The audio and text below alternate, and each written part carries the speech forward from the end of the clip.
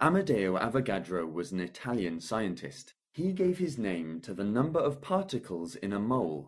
Maybe you don't yet know what a mole is. If so, just have a look at our video on moles before moving on with this lesson.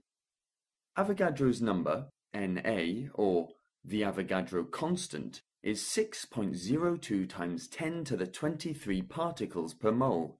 It is the number of atoms per mole of the carbon-12 isotope. For atoms, the mass of Avogadro's number of particles is equal to their relative atomic mass in grams. So, the mass of Avogadro's number of hydrogen atoms is 1 gram, and the mass of Avogadro's number of chlorine atoms is 35.5 grams. For molecules, the mass of Avogadro's number of particles is equal to their relative molecular mass in grams. So, for example, the mass of Avogadro's number of hydrogen molecules, or H2, is 2 grams, and the mass of Avogadro's number of chlorine molecules, Cl2, is 71 grams. If someone asks you, what is the mass of Avogadro's number of chlorine particles, it is impossible to answer the question without the person going into more detail. If by chlorine particles they mean chlorine atoms, the answer is 35.5 grams. If, however, by chlorine particles they mean chlorine molecules, the answer is 71 grams.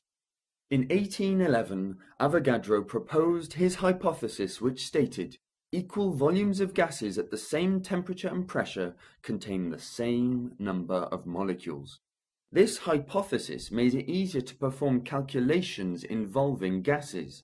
This means that one mole of any gas will occupy the same volume as one mole of any other gas, provided that they are at the same temperature and pressure. The volume occupied by one mole of a gas is called the molar volume.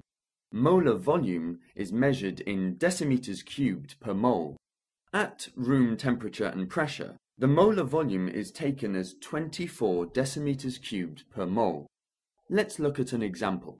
What is the volume occupied by 4 grams of oxygen at room temperature? Do you feel ready to work this out yourself? If so, pause the video while you work it out and press play to resume to get the answer. Okay, so let's look at what we already know. We know that 1 mole of any gas at room temperature occupies 24 decimeters cubed. 1 mole of oxygen gas, O2, has a mass of 32 grams. So, 32 grams of oxygen gas at room temperature occupies 24 decimeters cubed. Therefore, 1 gram of oxygen gas at room temperature occupies a volume of 24 divided by 32 decimeters cubed. And so, 4 grams of oxygen gas at room temperature occupies a volume of 4 times 24 over 32 decimeters cubed, or 3 decimeters cubed. Did you get it right? Well done.